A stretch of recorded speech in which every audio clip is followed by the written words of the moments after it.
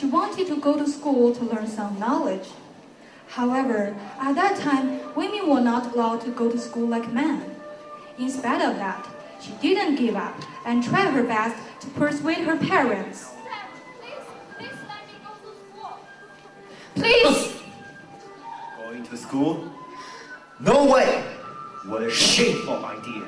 How can I let a girl go to school? Forget it.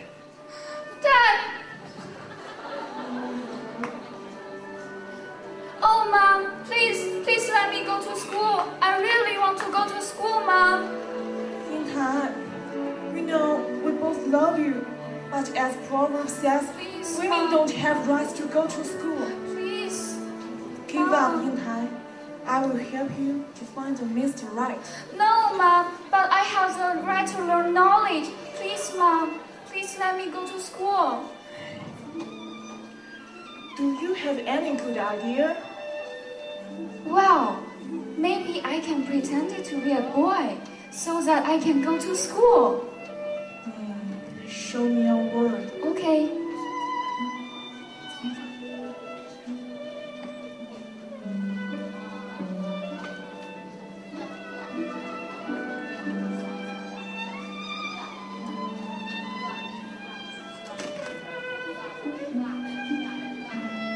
Now, do I look like a man?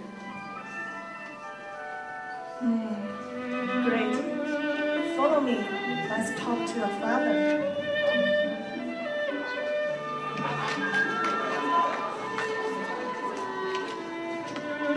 Honey, would you like some tea? Yes.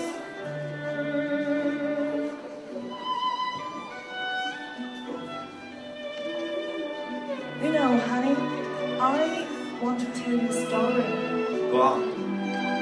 When I was young, I also wanted to go to school. But my father didn't allow me to go there. So,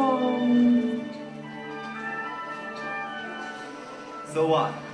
we only have one child. Yingtai is our hope. So what, what do you think about it?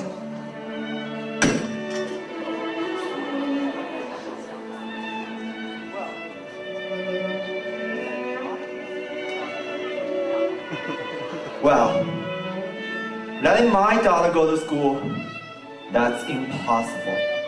Have you ever heard of any family letting their own daughter go to school? A girl should feel ashamed of having such an idea. Please let me go to school. I really want to go to school. I can pretend to be a boy, Dad. good please. idea, honey. Please. Stop! Let me think for a while.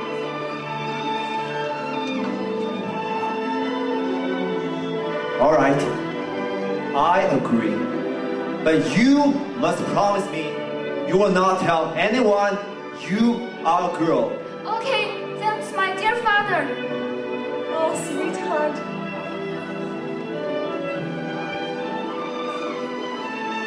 So, at last, Yingtai convinced her parents to let her go to school with her servant, Ying Xin. Yingtai had been in school for a few days. Even though her parents were not there and she had no friends, she was also excited and felt great relief. One day, she went to fly a kite in the backyard of the school. Look, my cat is flying. Be quick. Let it fly higher.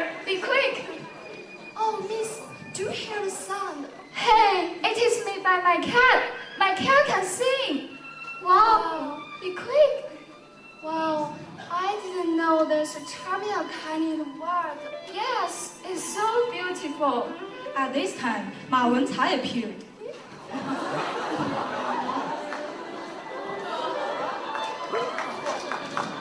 Yeah? It's it's mine. Yours? From now on, it's mine. No way. You are so rude. Do you know who I am? I don't care who you are. Then I will make you know it. Wait, wait. He's smart. He's a newcomer, so he doesn't know the rules here. Forgive him. I beg you, mercy, please me tell him. his name, his name is Ma Wencai. Comes from a very rich family in this school. Everyone said the teacher is afraid of him, so we'd better not decide him. What? No. Give my cat to that guy? That's impossible. No, no, You get out of here as soon as possible. Otherwise, I will tell the teacher. Tell the teacher first let me cut your tongue. Run, run, quick. Help! Oh! What are you doing? Who are you? Do you know who I am? Of course I know. I'm man. What do you think? Trying to bully a newcomer here, aren't you? Can you still be called a man? I think I should give you a good beating. What's happening? Teacher, I'm just joking with them. Joking? Yes. You're bullying them. Is that what the students should do? Now apologize to them and go away. If I catch you doing the same thing, you'll be kicked out.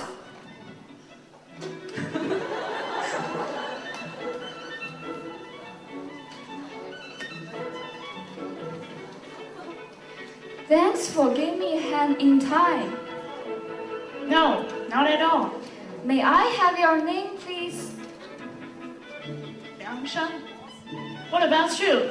Zhu Yingtai. Um, it seems that I've seen you before. Hey, I have the same feeling, but I don't remember. You are so. Huh? What? No, nothing. If so, could we? Can we become brothers? Yes, I have the same idea. Well, I'll have a brother. From now on, nobody dares to bully me. From then on, Liang Shanbo and Zhu Yingtai became good friends, and they always hung out, studied together, and took good care of each other. Their friendship became deeper. Meanwhile, Ma Wencai was always looking for trouble. Fortunately, Zhu and Liang managed to get out of the trouble made by Ma every time. One day, as they were having a class, Yingtai was so fascinated by Shanbo that she couldn't help taking a glimpse of him.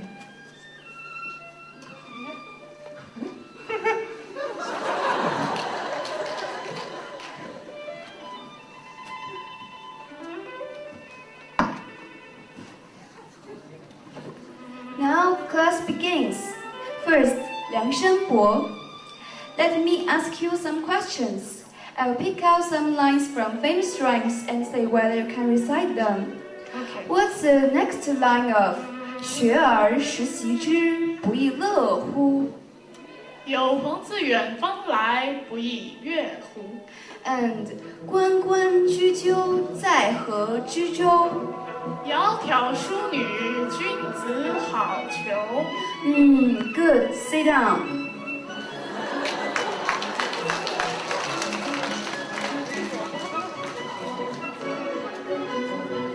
After class, they decided to go out together. It was already afternoon when they were walking, taking a walk by the lake, where there was a pavilion in the middle with beautiful scenery around. Look so beautiful.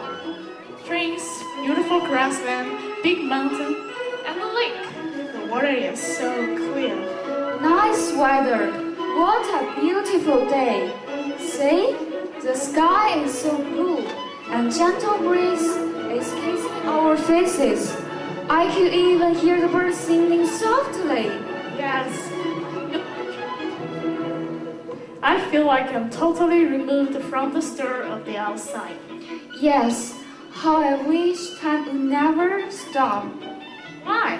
Why do you want time to stop? Yes, it's just uh, uh, well, you won't understand.